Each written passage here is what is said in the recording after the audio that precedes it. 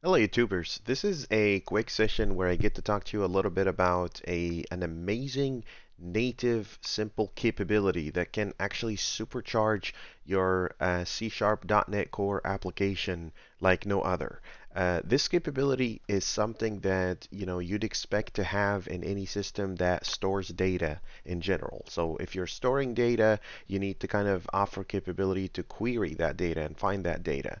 And querying the data, you know, just in the traditional way when you're basically looking for a specific name or a specific ID, that's easy. Anybody could do that. But you know, if you're, you know, just looking at how you look up things every day, you know, uh, normally on the internet, you're basically, you go in a, into a search engine like Google and you'll type something, and even if you mistype it, even if you type it in a different language, for God's sake, but you're clicking the, the clicking the right keys that matches the order of another language, you know, Google search kind of helps you kind of find that. I'll, let me just show you like a quick example here just so you understand the kind of capability I'm gonna I'm going to show you today. So here's, here's a little search engine in here. And I'm just going to go to Google like this. And I'm just going to type something that is intentionally wrong, right? So I'm just going to say, instead of Melissa, I'm going to type Melissa with three S's. And it's going to go and say, hey, did you actually mean Melissa with two S's? Right? So you can see here that there is some sort of a fuzzy search that's going on, right? They call it fuzzy search, and we'll talk about that in a second. And the fuzzy search basically goes and says, okay, you know, the, the human have made a mistake. What's the closest thing that matches this search term? you know that this person is looking for and let me suggest it as a capability let me find results for it as a capability unless you force force the engine you know to kind of really look for that particular term you know, it will, you know, try to kind of guess and do a little bit of fuzzy search and find that for you. Okay. So you have data, you want to allow your customers to search through that data. It's a non-conventional way, especially if you have a lot of names in the system, and you know sometimes people don't really remember whether Ibrahim is with an E or with an I.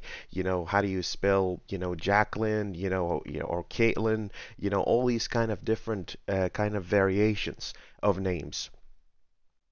Let's first go to SQL Server, you know, and let me show you how SQL Server natively offers a capability that can do that for you outside of the box. I, I created a, a solution for you in here, just a basic thing, you know, you have a bunch of students, you know, you're migrating the data using the Entity Framework and then empty uh, main method. But, you know, at the SQL Server side, I'm going to go ahead and do a little bit of a query. So let me just show you first what we have stick that back in there. There you go. So if I do select all from students like this, and then I run the system like this, you're going to get this nice result in here that basically says here's a bunch of names that you have available on the system, right?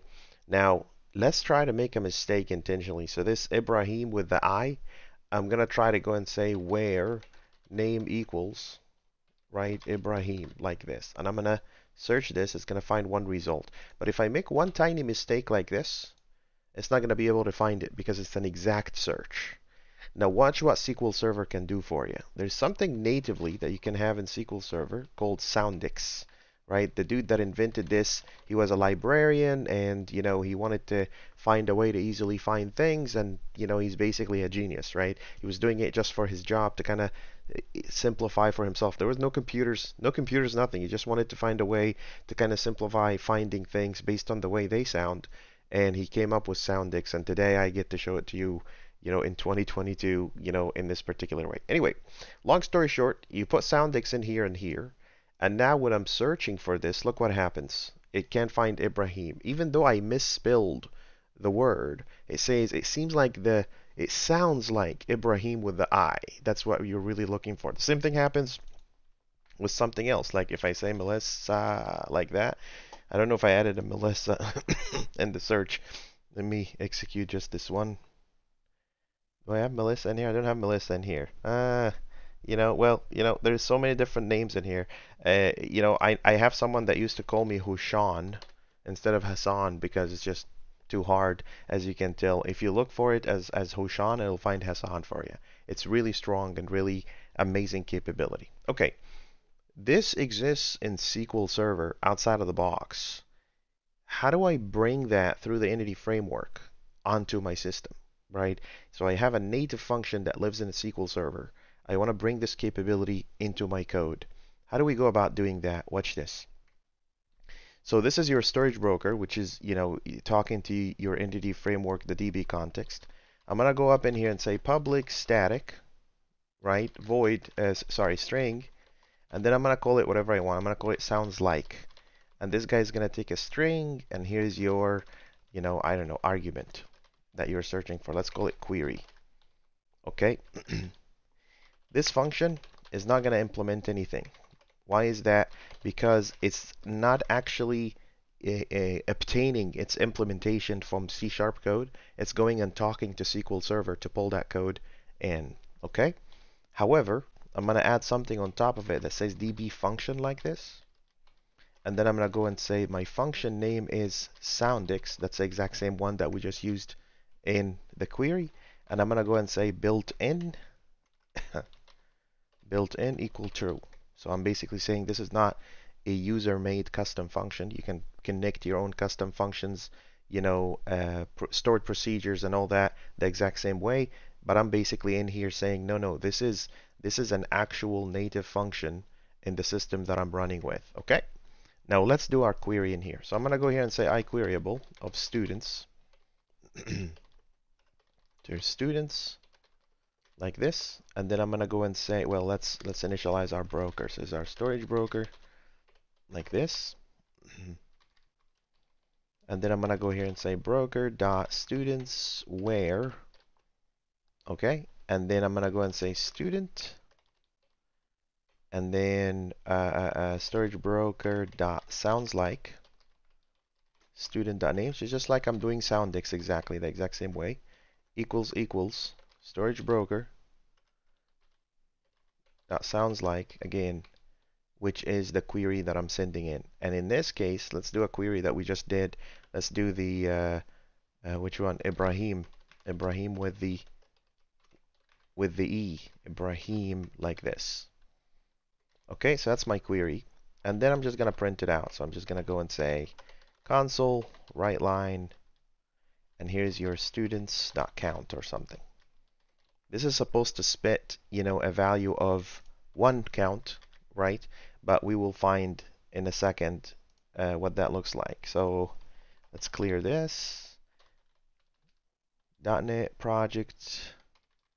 I think I renamed my project. Let's see what I have here. Yeah, cons. Okay, so .NET run project, and here is your console app, and here is your uh, fuzzy fuzz demo.